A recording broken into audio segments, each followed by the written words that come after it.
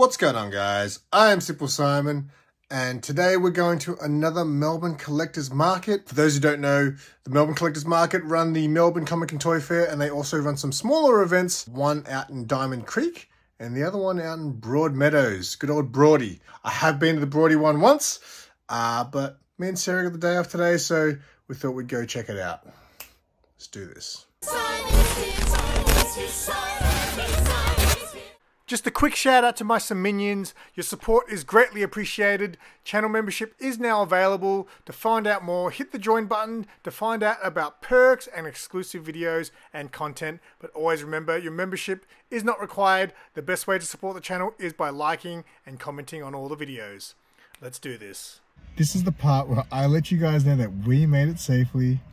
Barely found a park though. Yeah, parking was a bit of a bitch today. So Nine, if you see this, mate, uh, we need to organise some, you know, Simple Simon parking at all these events.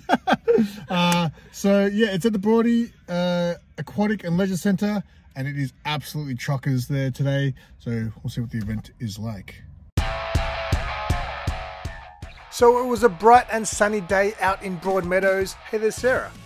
Uh, and we had to get a shot of the Melbourne Collectors Market flag there because I'm sure a lot of time and effort went into that. Now, I've probably said before in these smaller events, it's half a kids market and then half a collectibles market. And the collectible side is quite new.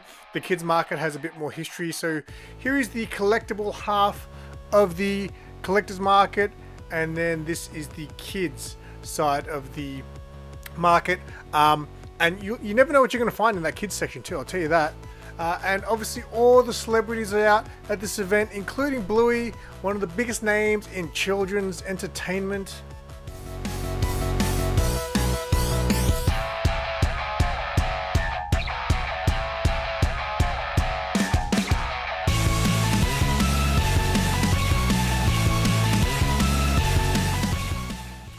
Now the collector's side have everything from toys to comics to cards, amongst other things.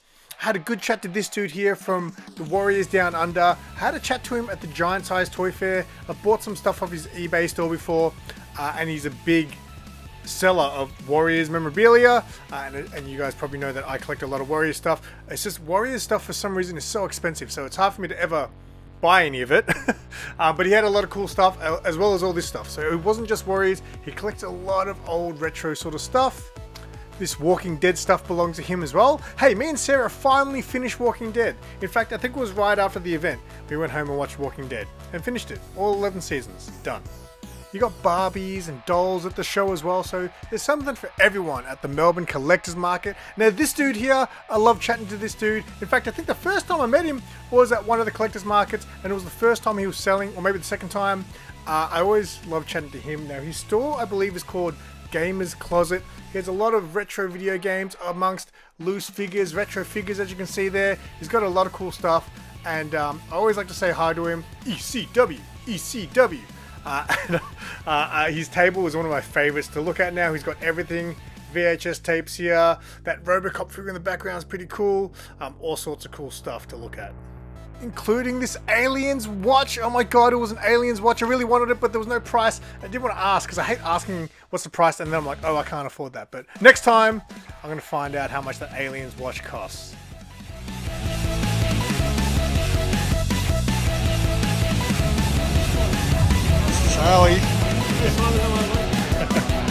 I'm thinking about buying one of those hats. A bucket hat? I was just saying the Sarah should get one, but she was like, she don't suit her. Yeah, it's cool that stuff.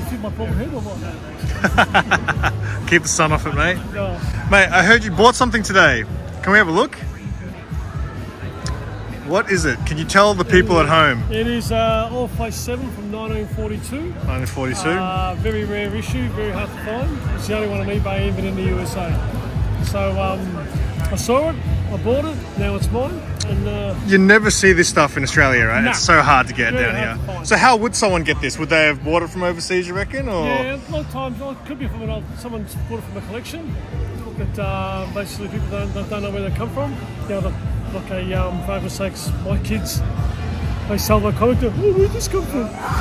now, it'd be a lot of these stuff from the USA. Uh, very rare you find them here. And it's crazy good condition, right? For 1942, Yeah, it is crazy good. The only thing wrong with it is the tape on the side. But nothing we can't fix, right? No, nothing we can't fix. Big secret. No, no, it's pretty cool, pretty happy. So it's made my venture here worthwhile. nice, mate. So nice. cool. I'll show you the after pictures later. All right. Charlie's a good bloke who I first met at the Yarraville Comic Fair in that video where I tried selling for the first time. He was just a really, really friendly dude.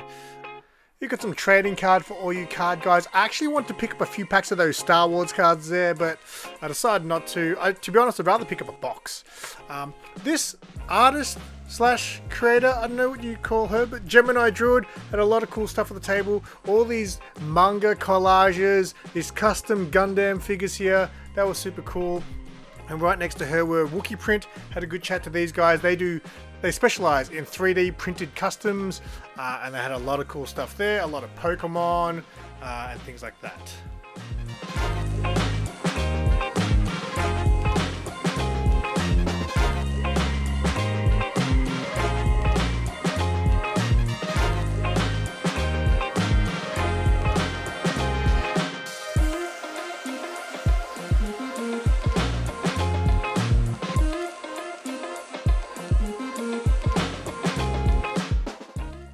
I'm terrible with names, but this dude who owns this stall, I see him at every single comic fair, toy fair.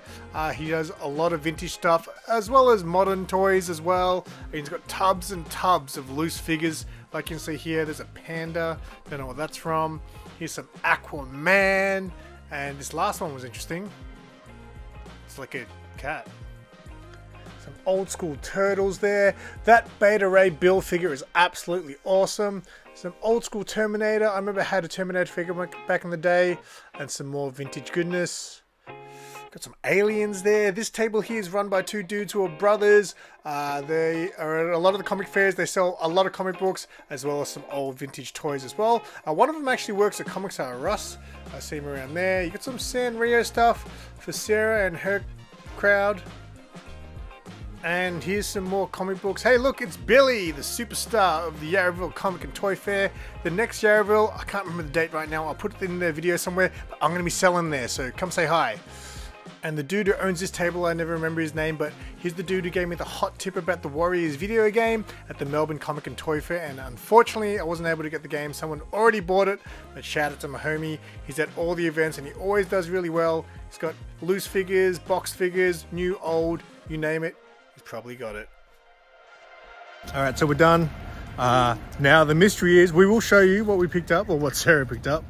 Uh, but the mystery is, will I have a fine on my car? Because apparently I only had one hour parking. But I think it's full day on Sunday. Should be right. All right, it is Sunday, so hopefully I'm okay.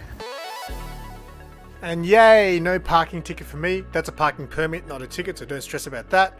Uh, and then afterwards, before we went home, to show you the hall, we went to get lunch at the most Australian place you could possibly think of. We went to Bunnings to get a good old fashioned Bunnings snag, baby. Alright, so for all my friends across the pond, this is a Bunnings snag. It is like, uh, what's the word for it? Aussie Tradition. tradition. It's just a basic a sausage in bread. I got some onion in mine, so I haven't had one of these in yonks, so I don't know why people go so crazy about them. Let's see. they are pretty ace. Yeah. That's good stuff. Hmm? Alrighty, so good day, good fun. Obviously, these events are a lot shorter. They go from 9 a.m. to 1. We got there around 11 and we were out by about 12.30, so it was good to see. I had a chat to a few of the sellers there that I obviously see at a lot of these events now, and the general consensus is these smaller collectors markets that Nine has been running are slowly growing every time. So that's obviously good to see because Nine puts a lot of work into, I think, um, advertising them and things like that. He does a great job uh, with all the marketing and stuff like that. So we'll show you what we picked up. We got a few comic books and a few other cutesy things that Sarah picked up. So first, Wookiee Print. They make uh, 3D printed custom models and things like that. So they had some cool stuff. They had a chat. He looked at me. He was like, "Simon." I was like, "Yeah, that's me." Simple Simon. Uh, he mentioned he'd seen a video or two before, so that was cool. So we had a bit of a chat, uh, and they made these really cool. Even I think this is super cool, uh, even though it's more of a Sarah thing. They made these um, 3D printed Switch. What do you call them? Like a cartridge holders, right? So yeah, you put you put the game cartridges in there for Switch games, and it's actually a cool Game Boy, old school Game Boy cartridge. And they did a whole bunch of different Pokemon ones, and obviously Sarah collects Sylveon. So uh, I bought her this Sylveon one. Thought that was pretty cool. Uh, but that a bunch of cool stuff you would have seen in the video. I did get some footage of their table. Sarah picked up something from, I guess she's an artist. Gemini Druid is the uh, store name or artiste, if we can say. So she makes, here we go. She makes custom painted gunpla. I don't know what gunpla is. Kawaii Gundams. Gundams, I don't know what that is. Uh, manga collages, paper crafts, fantasy inspired terraniums. I saw her table at the Melbourne Comic and Toy Fair. In fact, when I did my live stream at the Melbourne Comic and Toy Fair, her table was right next to me and she had these really cool guns that were all like decorated and stuff that looked super cool. But anyway, had a bit of a chat to her today and Sarah loved her stuff. So Sarah picked up a little, I guess you would say, oh, she bought a few things. Let's have a look at this first. So it's a little succulent fantasy inspired terraniums. Okay, so I guess this is a terranium. Uh, this is super cool. Uh, I, um, I like this. So succulent's obviously the plant, uh, but then it's got a cool bunch of little things in there. This is super cool because this is the type of plant you can kind of keep inside. And Sarah's really into her plants. I'm the complete opposite, but um, not into plants at all. But um, that's super cool. I, I like that. Sarah also picked up a bunch of Kuromi stickers. Just I'm just going to go through these really quickly because I didn't realize how many she actually bought. So Kuromi stuff is appearing in all my videos it seems these days. Every time. Kuromi makes it into the haul.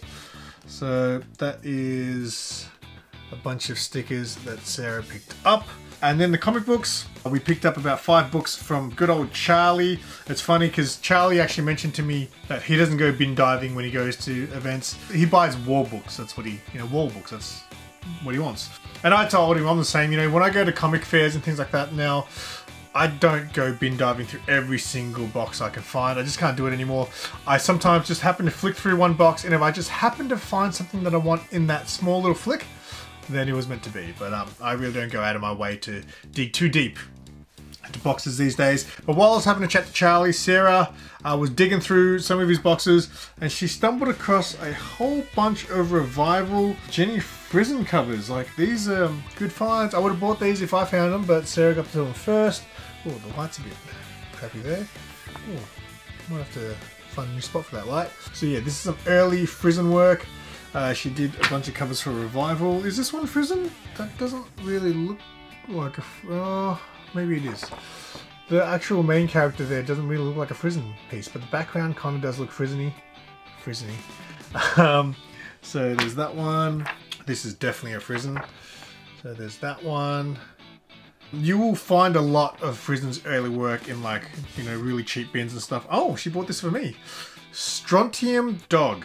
Quality Comics, eh? That's the name of the publisher. Interesting. Sarah bought me this because it was a cool Kiss cover. I actually like that. There was a few Kiss covers in the boxes, uh, but this, I said, Sarah's going to buy them all for me. I was like, no, just buy this one because I actually quite like this one there. Very cool. Don't know much about the book. I've never heard of Quality Comics, but uh, let me know if you guys know. And then the last book I bought, I've already got this one, but for two bucks, I'll have another one. This is a DC Who's Who. Uh, this was the first DC Who's Who that I bought. And the reason I bought it, uh, as I would have mentioned in the video when I showed it the first time, was because there's actually a really nice Dave Stevens piece in here. There's also the controversial Captain Nazi character in here. It's got this really nice, uh, man this lighting I really need to find a new spot for. A really nice Dave Stevens artwork there of Catwoman. Um, so for $2, that little piece alone is worth it. So yeah, I picked up a second copy of that. And that's it. Shout out to Nine for putting on another fun event. Uh, I really enjoy doing these. Uh, he's got another one coming up soon, which is the Melbourne Collectors Market in Diamond Creek. Um, by the time I release this video, hopefully I'll have the date come up for you somewhere at the bottom.